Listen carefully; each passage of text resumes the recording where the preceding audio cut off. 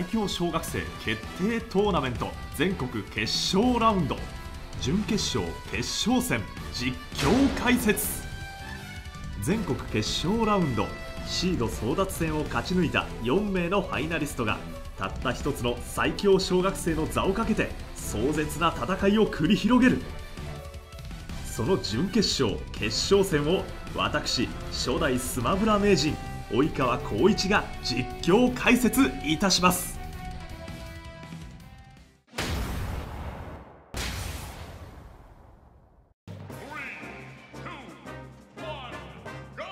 始まりました。メタナイト VS ブラックピット。どちらもスピードの速いキャラクターですからね。先に仕掛けていったのはブラックピット。シルバーリップで先に攻撃を与えました。さあなかなか攻撃が両者当たらない。おっとディメンジョンマントをジャストシールドしてさらに今度はなんとドリルラッシュもジャストシールドしましたね。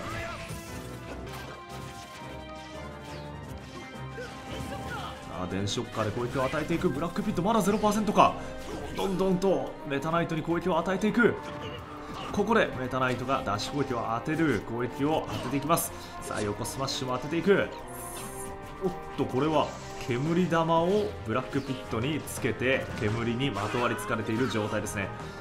さあこれはおっとここでドリルラッシュを前段当ててアシストフィギュア悪い以上呼び出す踏みつけの攻撃。さあブラックピットこの攻撃を避けていきたい。と避け避けようと思ったところ。悪い字に攻撃されてしまった。今度はスーパースコープで外に追い出そうとするメタナイト。おっとここで衛星ガーディアンズで逆に跳ね返されてしまう。さあここでブラックピットが100%を超えた。さあじゃあ攻撃を与えていく。外まで追いかけて攻撃を与えるメタナイト。さあここでどちらもストックが1つずつとなりましたね。合格の戦いか。さあテレビゲーム15というアシストフィギュアを呼び出したブラックピット。この球が強烈な攻撃なんですよね。これを避けたい。おっと今のはメタナイトが投げたモンスターボールがテレビゲーム15に当たってメタナイトのものからブラックピットになってしまったんですねこれは。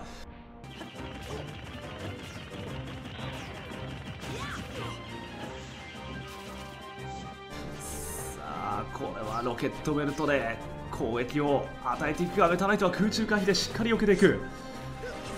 おっとここがおっと攻めていくか。後ろ投げで外に放り出される。ダッシュ攻撃をうまく回避する。今度はダッシュ攻撃で返り討ちにするメタナイト。さあ空中での攻防。さあ崖外まで追いかけての。追い打ちでしたね今のは。爆薬箱を持ってブラックピットが今度は上様を繰り出す。爆薬箱をそこに設置する。そしてこれはメタナイトは攻めにくいですね。ここに置かれてしまうと。ワープスターもこれは爆薬箱があったせいで右側には降りてこられなかった。さあスマッシュボールが出ました。スマッシュボールこのスマッシュボールを叩き割るのはどちらなのか。メタナイトかそれともブラックピットなのか。これはどちらも取りたい。さあスマッシュボールを割ったのはブラックピット。さあどこで使う？ここで使った。当てた。勝ったのはブラックピット。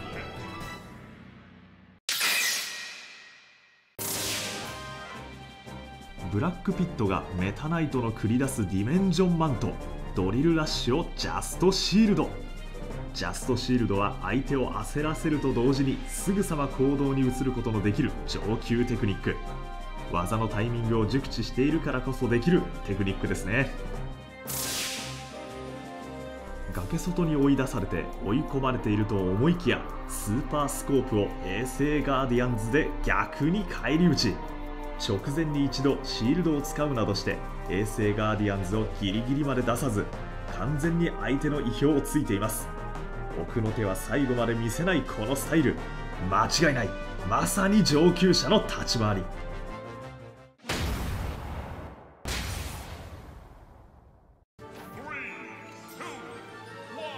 さあ始まりました。シュルク VS トゥーンリンク。まずはモナドアーツをスピードに切り替えて素早さを上げてシュルクが攻めていくんですね。トゥーンリンクは素早いキャラクターなのでこうやって能力を変化したんでしょう。さあここでダッシュ攻撃をおっとここで下スマッシュをシュルクが当てていく。すぐさま横スマッシュを当てていくトゥーンリンク。さあこのビートルはうまくシュルクが回避。爆弾ブーメランを投げていく。トゥーンリンク回避を読んでからの上スマッシュ。当てていくトゥーンリンク。ダッシュさあ空中攻撃をしっかりとジャストシールド上がりましたね。さあ上スマッシュ。おっとここで上スマッシュをしっかりとビジョンでカウンター。やっとシールドキャンセルからの上スマッシュが決まりましたね今。いやートゥーンリンク小技が効いてます。うまいですね。さあダッシュ攻撃を与えていく。シュルクさあこの空中攻撃を当ててこれは空中回避。しっかりしましたトゥーンリンクさあまたしてもジャストシールドからの横スマッシュで決めましたねトゥーンリンク。さあダッシュ攻撃を与えていったシュルク。さあこれも空中をしっかり回避。さあトゥーンリンクおっと下スマッシュで大きくトゥーンリンクを飛ばす弓矢で様子を伺っている。おっとダッシュつかみをしているがこれは届かなかったか。さあ横スマッシュを与えていくシュルク。さあ追い打ちをしたいこれもしっかり空中回避。落とし穴のタネで埋めてからのダッシュ上スマなかなか相手につかませてもらえませんね。トゥーンリンクの回避がうまいためか。さあここで上突きをビジョンでカウンター。しかしこれは画面外には飛びませんでした。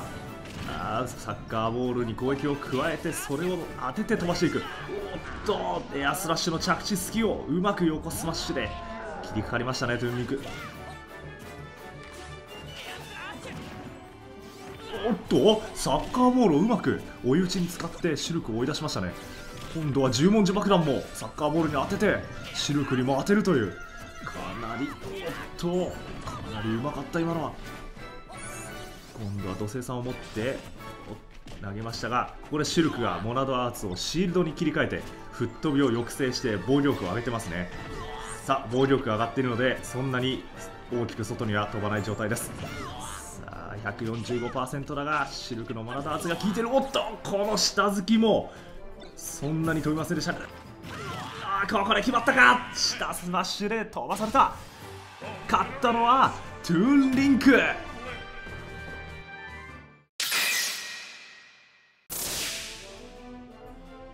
ダッシュ攻撃を仕掛けたシルクに対してしっかりシールドで防ぐトゥーンリンク。そしてすぐさま上スマッシュを繰り出しシールドキャンセル。シールドの後も隙を作らないための重要テクニックはぜひともお手本にしよう。トゥーンリンクがサッカーボールにブーメランを当てて飛ばします。次の瞬間崖際にいたシルクにボールがヒット。続いて十文字爆弾を投げて真横にボールを吹っ飛ばしこれもシルクに当てているんです。ボールの軌道を把握しているからこそできる技選び。これぞストライカー。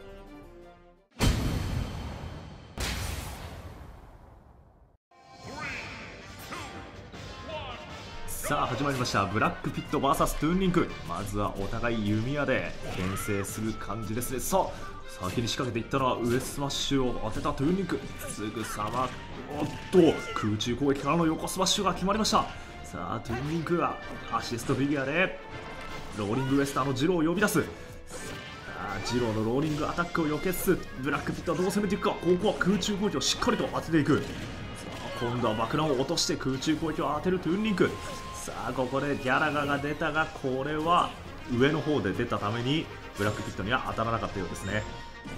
あ今度はドリルを取ってどう使うか。おっと衛星ガーディアンズでしっかりとこれは返しましたね。ブラックピット。さあどうだ。おっと後ろに回り込んですぐさま下スマッシュを当てていく。さあ今度はファイヤーバーを取ったトゥーンリンク。ファイヤーバーをこれはどう使っていくか。なんと下に叩きつけて攻撃しましたね。これは読めない意外な行動だ。さあ下スマッシュでブラックピットが飛ばしていく。さあ復帰際をやられないようにしっかりブーメランを投げつつ戻ってきたトゥーンリンク。さあスマッシュボールが出た。激辛カレーライスを取ってブラックピットがさあこれはどちらが取るのか。ブラックピットが取った。ここでブラピの狙杖を決めた。さあこれをすぐさま今度はトゥーンリンクが取り返すようにブラックピットを倒した。どちらも0%ストックは1つずつ互角の戦いこれが決勝戦か。さあ激辛カレーライスを今度はトゥーンリンクが取ったがこの炎をものともせず豪腕デンショッカーで攻めていく。さあ復帰際に今度は復帰でデンショッカーを使いましたね。さあ距離を取って弓を打っていく。シルバーリップはしかしトゥーンリンクの盾によって防がれてしまう。ここでタイマーがどちらが取った？これはトゥーンリンクが取った。リンクの上突き上突きが当たる。さあこれは空中回避をしているが回避の終わり際をまた上突きと徐々にパーセントを貯めていきます。トゥーンリンクダッシュ攻撃を加えるブラックピット。さあスーパースコープを連射していきますね。これでシールドを張らせる。さあトゥーンリンクがビートルを持っているがこれをしっかり回避してからの横スマッシュ。と思ったらジャストシールドからの横スマッシュ。ブラックピットがスーパースコープをため打ちしてなんとシールドブレイク。これを最大の横スマッシュホールドで決めた。優勝はブラックピット。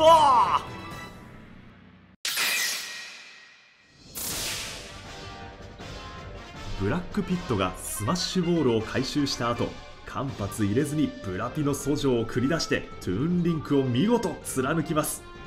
逃げ場を考えさせない瞬時の判断に感動すら覚えます。ブラックピットがスーパースコープを連射してトゥーンリンクにシールドを張らせます。相手のシールドを削りつつ今度はため打ちを2回発射。相手を追い込んでからシールドブレイクを狙っていく。大人もうならせる驚きのアイテム活用です。これが最強小学生。最強小学生決定トーナメント。全国4都市7680人の頂点に輝いたのは東京代表岡野遥。優勝おめでとう